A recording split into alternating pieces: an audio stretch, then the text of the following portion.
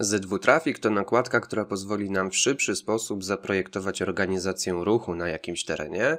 Robi się to głównie poprzez wstawianie znaków do rysunku, ale również takie znaki można tworzyć, e, nie tylko znaki pionowe, ale też poziome. Jest tutaj też kilka innych fajnych opcji. E, zatem najczęściej to, co będzie wykonywane w nakładce, to zapewne wstawienie takiego prostego znaku. Spróbujemy taki znak wstawić. Wystarczy, że otworzymy bibliotekę, e, wybierzemy interesujący nas znak. Ja na przykład chciałbym znak A7, czyli ustąp pierwszeństwa. Chciałbym, żeby ta droga była właśnie podporządkowana, zatem wystarczy, że wstawię znak w tym miejscu. Będziemy musieli odpowiedzieć jeszcze na kilka pytań od programu, który on y, zada nam w pasku poleceń. Także trzeba zerkać e, na pasek poleceń, tam zawsze będą podpowiedzi o tym, co dalej robić. Powiedzmy, że obrócimy w taką stronę ten nasz znak. Na koniec jeszcze będziemy musieli e, określić, gdzie zostanie wstawione przedstawienie tego znaku.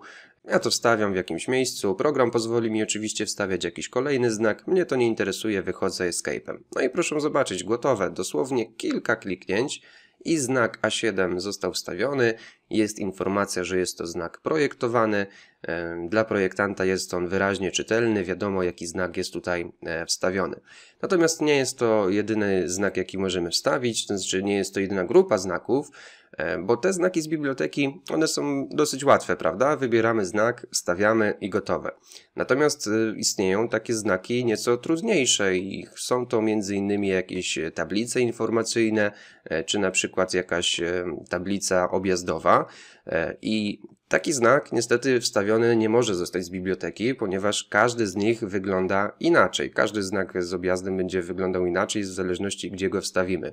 I taki znak musimy narysować samodzielnie. Nie jest to naprawdę trudne, proszę mi wierzyć, wystarczy, że narysujemy sobie polilinią naszą drogę objazdową, powiedzmy, że w taki sposób. Prawda? Robimy kilka kliknięć.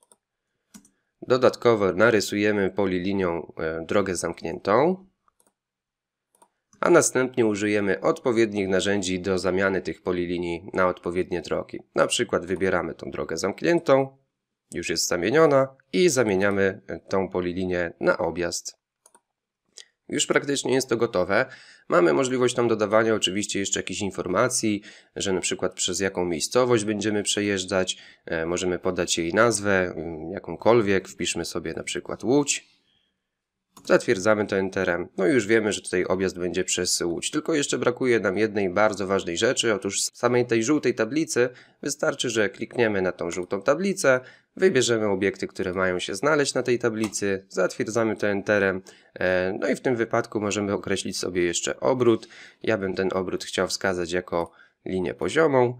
I teraz wystarczy E, zatwierdzić to Enterem. Proszę zobaczyć, że moja tablica jest już praktycznie gotowa. Mogą tutaj dodawać jeszcze jakieś informacje typu tekst i tym podobne rzeczy.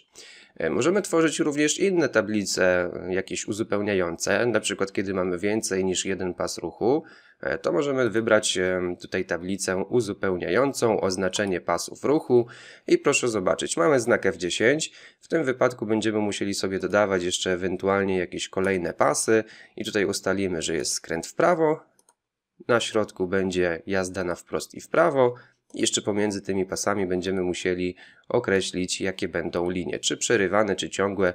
Tutaj damy już linię ciągłą. I ok, mamy taki znak, klikamy sobie wstaw, możemy ten znak wstawić, e, prawda, w dowolnym jakimś miejscu a następnie na linię odniesienia e, wstawić ten nasz znak. Tutaj również będziemy informować e, o tym, jaki jest to znak, czy jest projektowany i możemy narysować sobie na linii odniesienia przedstawienie tego znaku. Także robimy to w dosłownie kilku kliknięciach, nie musimy tego gdzieś tam na boku projektować. Oprócz znaków pionowych możemy w programie również dodać znaki poziome, chociażby te strzałki na e, jezdni narysować, to też e, możemy zrobić w programie. E, I z tymi znakami poziomymi możemy jeszcze dodać chociażby, nie wiem, powiedzmy przejście dla pieszych, narysować sobie linie znajdujące się na jezdni, dodać informację, że jest na przykład ścieżka dla pieszych, czy też dodać miejsca parkingowe. To jest bardzo fajne polecenie. Wybieramy stanowisko postojowe. Tutaj musimy określić, ile tych miejsc będzie. Powiedzmy, że chcę 5 miejsc y, parkingowych. Określamy, czy one mają być prostopadłe, skośne, y, pod jakim kątem, jakie wymiary mają być y, tych miejsc parkingowych. Ja po prostu wpiszę 5, resztę ustawień zostawiam sobie tak, jak jest.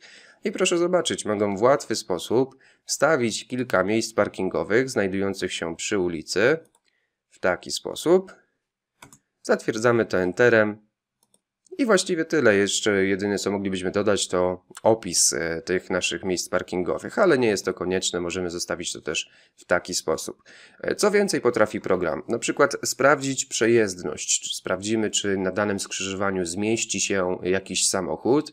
E, jeżeli mamy dobrze obrysowaną jezdnię, wystarczy, że klikniemy sobie na przejezdność, wybierzemy ten samochód właśnie, no i wyzbieramy, czy chcemy mieć autobus, czy chcemy mieć jakiś ciągnik siodłowy, e, samochód ciężarowy, samochód osobowy, wybierzmy sobie wielki autobus, klikamy sprawdź przejezdność. I teraz będziemy musieli ten nasz autobus wstawić gdzieś w naszym rysunku, powiedzmy, że w tym miejscu, a następnie będziemy wskazywać za pomocą myszy trasę tego naszego autobusu. No jak widzimy tutaj pojawiają nam się pewne problemy, ten autobus zmieści się w tym skrzyżowaniu, prawda? On mi wjedzie. No tylko, że wyjedzie trochę za granicę jezdni i tutaj należałoby albo dostosować e, to skrzyżowanie, żeby autobusy o takiej długości mogły tutaj wjechać, ewentualnie po prostu wstawić zakaz wjazdu dla pojazdów o jakiejś tam konkretnej e, długości. No dobrze, Enterem ja to zatwierdzam. E, program mnie tutaj jeszcze pyta, czy chcę coś dalej wstawić. Ja mogę ewentualnie wstawić jeszcze rysunek pojazdu na boku. E, no i wyjść z tego. Jeżeli się przyjrzymy tej trasie naszego autobusu, to tutaj będziemy mieli jeszcze drogę tych naszych osi, kół, prawda, czy obrys samego autobusu i to się przedstawia mniej więcej w ten sposób. Zachęcam do skorzystania z wersji próbnej nakładki 30 dni za darmo, e, po prostu po 30 dniach się wyłączy. Macie Państwo możliwość korzystania z pomocy technicznej, a jeżeli ktoś chce, to znajdzie również e, podręcznik e, w samej nakładce. Wystarczy, że kliknie sobie na tą książkę ze znakiem zapytania i otworzy się Państwu PDF o nazwie ZW Traffic, gdzie będzie można się nauczyć samodzielnie, jak z programu korzystać.